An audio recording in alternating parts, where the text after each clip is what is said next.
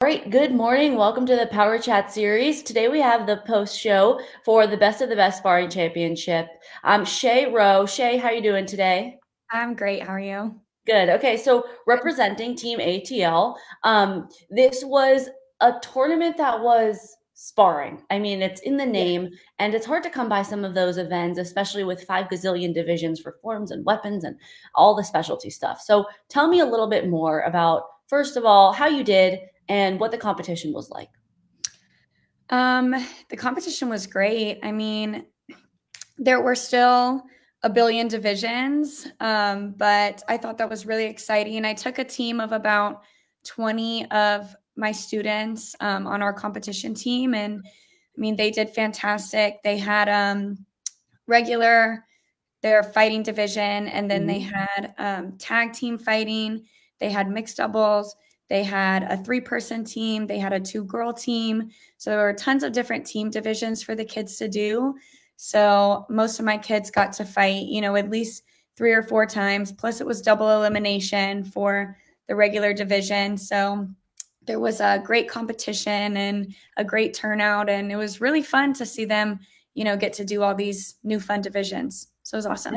That's great. I mean, sometimes, especially as you know, being a fighter yourself, sometimes you only get one round at an event um, like to have these what was sort of the energy from some of your students? I mean they were having a blast. This was our first team event as like our new season competition team. Um, and i mean just the environment of them being able to run ring to ring and support each other and you know the the southeast kind of community is pretty close. So a bunch of the teams there. We see at all the tournaments and they all have friends with each other.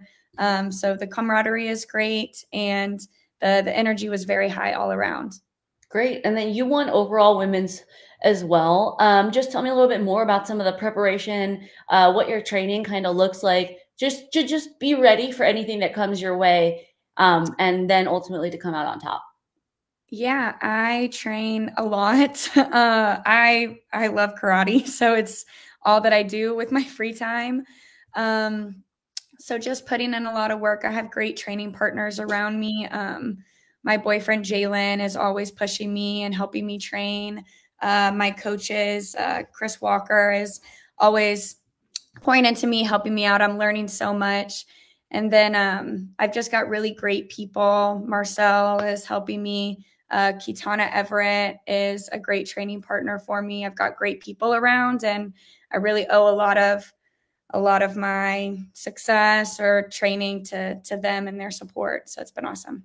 How did you get into martial arts?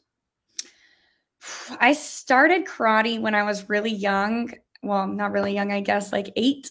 Um, okay. Because my neighbor did it, and I wanted to do it too. Um, and then I started at a school with Kalman Choka is my instructor from white to black. Oh. So that definitely got me a, a, glimpse into the competition world and what that was like. And then um, I got my black belt around 12 and I quit karate for nine years. I did wow. not step on the mat. Yeah, I mean, I just, you know, thought it was something I did as a kid. Mm-hmm. And then uh, COVID hit in 2020. Okay. And nothing else to do. And everybody was picking up hobbies. And right. I wanted to pick up making a hard. Sa- so making sourdough wasn't what you decided to do. Say it again. yeah. Oh, sorry, I didn't hear you.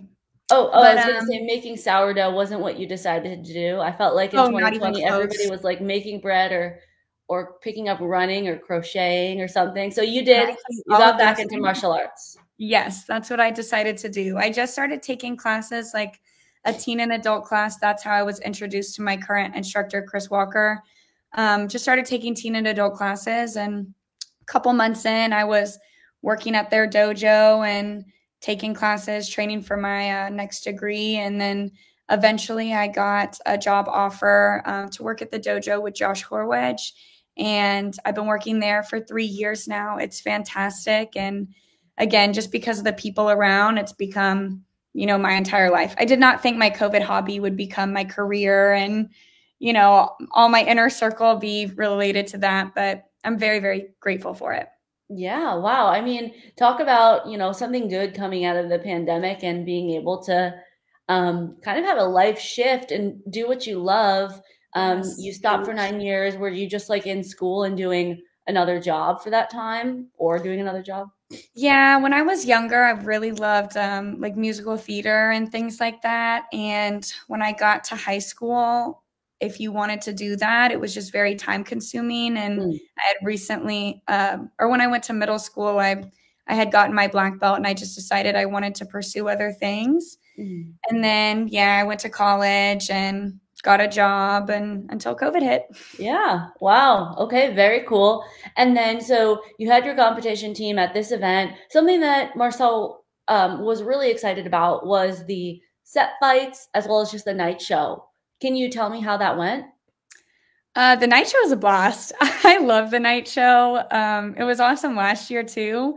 I think it's just so fun to have at a local event. Um, I mean, I it's the only it's the only event again that some of my kids will be able to go to and see something like that.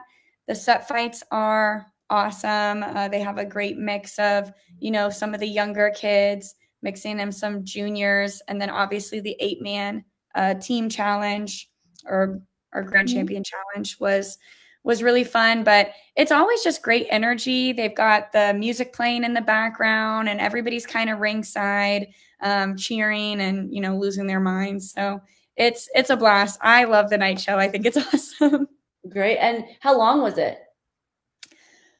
Oh that's a great question unfortunately i have no concept of time i'm gonna say Well, you know what they say, time flies when you're having fun. You, I mean, it wasn't like you were clock watching, like, oh my God, we're on hour two, hour three, or whatever. exactly i mean it definitely wasn't i would say maybe it ran about an hour Okay, yeah. Wow. I mean, that's fun. An hour full of action-packed just Mhm. fighting, and that's the people that were drawn to this.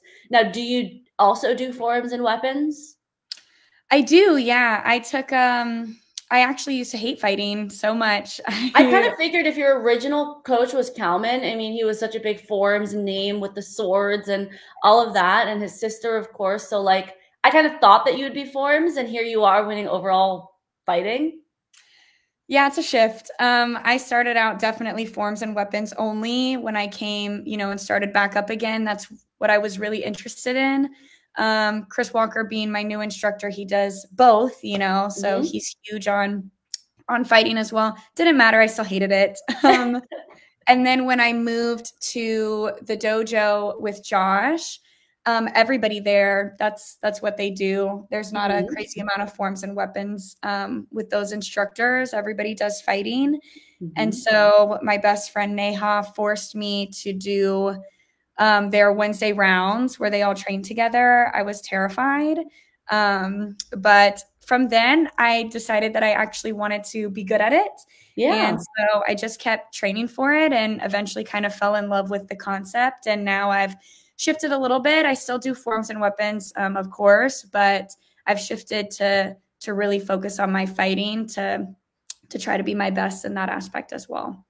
I feel like going from that shift, um, the progress that one could make is so apparent because you're sort of at a level where you need to make a lot of Yes. improvements, but that's like the exciting part of it. It's like, wow, I, I'm not the best at this, but you see the people around you, and I know the people that you're fighting with are so good. You're like, I could be like that, you know?